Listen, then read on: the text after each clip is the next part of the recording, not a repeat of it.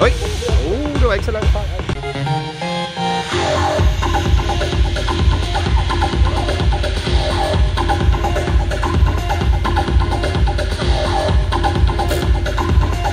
Og så Frøski.